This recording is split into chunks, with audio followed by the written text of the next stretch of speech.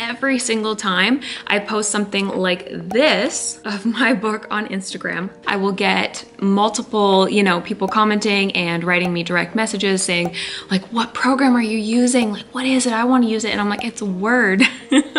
so this, just so you know, is the inspiration. Today, we're gonna focus on tips and tricks to help you write better in Word and all the cool features that it has that most writers don't even know that it has. Hi guys, this is going to be a really quick tutorial on Microsoft Word for writers and all the amazing tips and tricks within this program. I have eight that I want to show you today, although I may find that there's even more than that, so we'll count as we go along. These are things that you can use while writing, while editing, whether working on editing for yourself or with beta readers and critique partners and even your editor. So these are really, really useful tools in Word, especially if you're like me and you don't want to buy Scrivener, although no shade against Scrivener. I just am really, really attached to word as a writer. Just a quick side note, this is not a formatting video, so I will link my video on formatting below if you want something more like that. And I do have plans to do kind of a formatting from scratch video in the near future as well. But for today, we're gonna focus on tips and tricks to help you write better in Word and all the cool features that it has that most writers don't even know that it has. Okay, so I have my screen recording going so that you can see everything that I see and I'm going to go ahead and go through it on screen for you. And I'm going to use The Stolen Kingdom since I have shared the first chapters before and I don't mind you guys seeing little sneak peeks of this book. So the first thing, we're just gonna jump right into it, is the zoom in and zoom out feature. So what I often do, look at the bottom right corner here where my mouse is, is I often click this zoom out feature. You can slide the bar or you can just click it and you will get different levels of zoomed in and out. So I'll just show you some examples like this. And this is actually what inspired today's video in case you're wondering, because every single time I post something like this of my book on Instagram, I will get multiple, you know, people commenting and writing me direct messages saying like, what program are you using? Like, what is it? I want to use it. And I'm like, it's Word.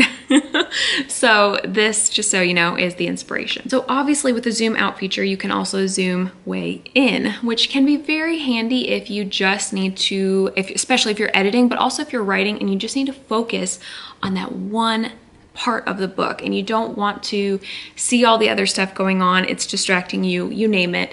It helps also to zoom way in. You'll notice that I said focus because same spot down at the bottom right next to the zooming tool is the focus mode. So check this out. This gets rid of everything except the page. This feature is super helpful for NaNoWriMo because as you can see, it shows absolutely nothing except the page. And so if you are somebody who gets easily distracted like I am, it can help to just literally get rid of all the distractions. You can't see any bars, you can't see all the other apps you could click on on the side, you can't see anything except the page. So I love that feature to get out of it. In case you're wondering, you just hit escape and there you go. Now we're gonna jump up to the top and to the tab that says view. And so let me really quick pause. I'm going to go ahead and click, I'm on a Mac, so I'm clicking the little apple at the top left. So this might be a little different on a PC, but if you go and you look at the about word, which you can do by clicking word and then the drop down about word, you can see that I have the 2016 version right here. And that says version 15.29.1. So I just wanna put in a quick note that just like everything else, Word continues to upgrade and change things. So where to find these particular features may change for you and you may need to do a little Google search like where to find X thing that I described to you today. But even if it's located in a different place, you should have most, if not all of these features in pretty much every word that's out there, I think. Okay, back to it. Some of these things are turned on naturally. It's like we're in print view. Um, you can explore all of these things. You can have different Word documents open. You can actually split them so you can see multiple Word documents at a time. There's a lot of cool features up here, including the zoom in and out that we just looked at, and also the focus option right here that we just looked at. But I'm gonna bring you over to one of my favorite, favorite features in Word, which is the navigation pane. Now, it has three different sections to it, as well as a little search bar thing here. So this first one lets you look at your entire document really, really quick. So I could scroll down and click on the bottom page, which is my about page, just like that. Instead of having to scroll through the document as a whole like this. The next part of the navigation pane does require to have some formatting in it, which again, I have that formatting video. I'll link it below and I can do a video on formatting from scratch as well if you like. But this is going to show you specific formatting things. So if you had subtitles, sometimes they will show up. Other times you'll see like chapter headers. So you can click on them like that. And as you can see, it shows you exactly where it is. So I've shown chapter two before. I'll give you a sneak peek and sign up for my author newsletter. It'll bring you straight to that or also by, oops, there's my also by page in there. Yes, this particular tab does require some formatting, but as you've seen from my formatting video, or if you've played with formatting in Word, then you know it's actually not that hard to add it. It's very simple to use the style panes and create a header like that for chapters. But I'm gonna go back to the view tab because we are not here for formatting and I gotta catch myself, but let me know if you want that video in the comments. So the next thing I wanna show you is actually also in this navigation pane right here. And this is helpful if you are editing yourself or you're working working with beta readers or critique partners or your editor because if you leave a comment, which I'm going to show you in a moment, it will show up here and you will be able to see all changes being made to your document.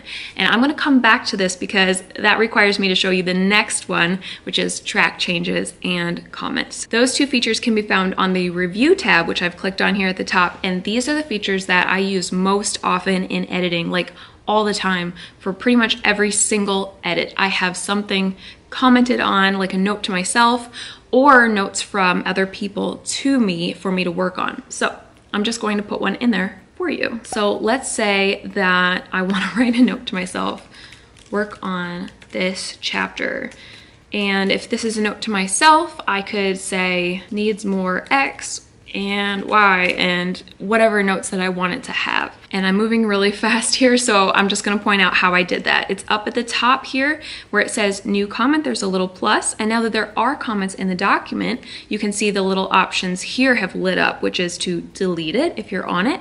You can go ahead and click resolve if you're letting somebody else know, like if you're working with someone and you wanna let them know that you resolved it. I don't use that feature much, I just delete it. Or if you have multiple comments in the document, which if you're working with others, you absolutely will. I have had hundreds from editors. I've even had over a thousand edit notes. And so same thing, if I'm editing for myself, I usually will have at least dozens, if not hundreds of notes to work on depending at what stage I'm in. So let's add another one to show you.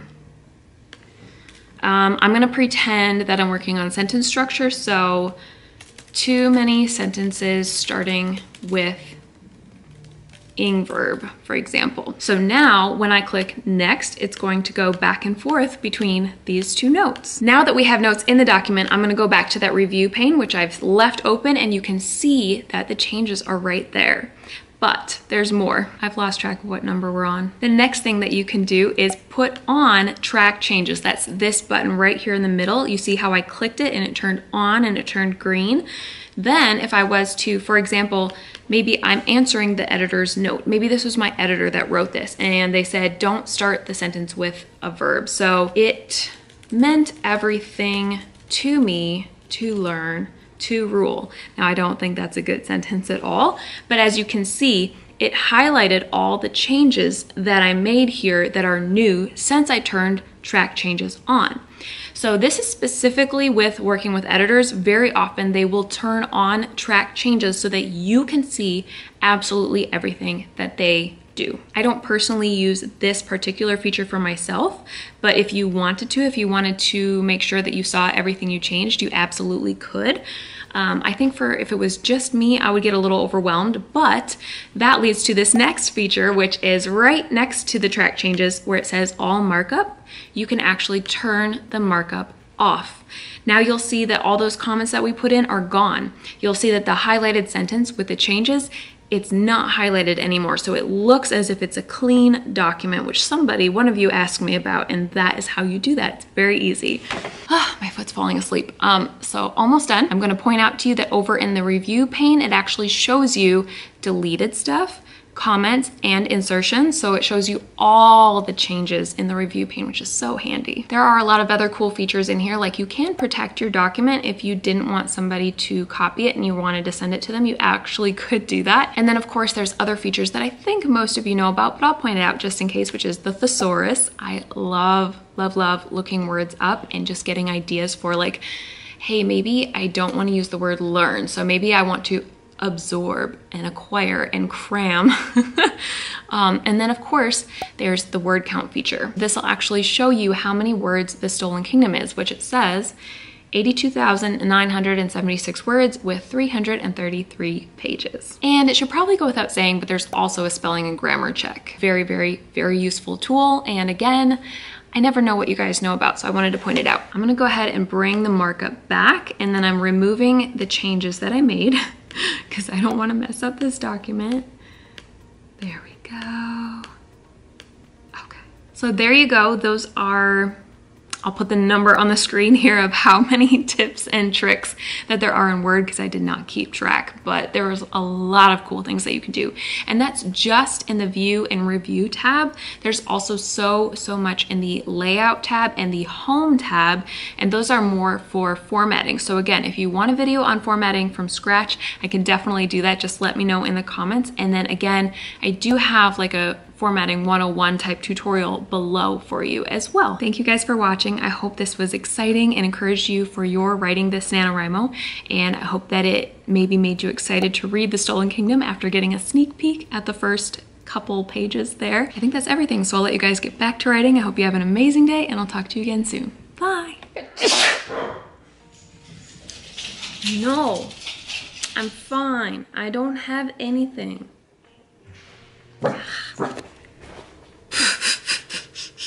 okay. Ah, this is why I don't film at night.